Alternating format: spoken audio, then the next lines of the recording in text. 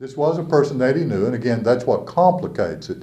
She had given him the ride; It was obvious she was going to be able to ID him if she lived. And we're not so sure that his intention was not to leave a witness.